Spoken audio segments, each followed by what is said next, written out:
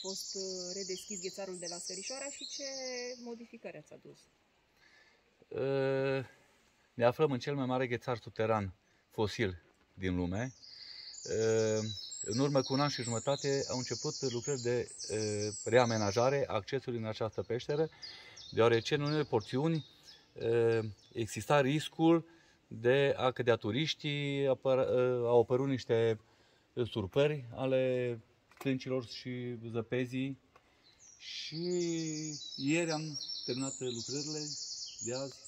Toată lumea poate să vină să viziteze acest frumos obiectiv turistic. După cât timp au fost făcute aceste modificări?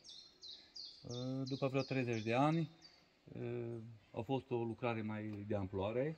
Uh, lucrările din 30 de ani, de vreo 50 de ani, au fost doar mici reparații făcute la această peșteră. Spuneți-ne exact ce ați refăcut.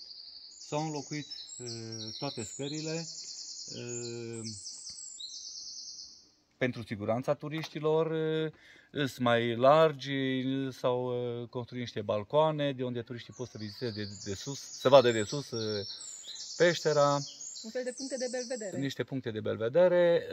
Mai avem în cadrul acestui proiect o a doua etapă care uh, prevede înlocuirea platformelor de pe blocul de gheață și uh, iluminatul uh, din peșteră cu LED-uri să nu afectăm uh, mediul din peșteră, temperatura din peșteră. Ce sumă ați investit și de unde au venit acești bani? Uh, aproximativ 1.500.000 de lei s-au investit din bugetul local al Comunei Gârda de Sus.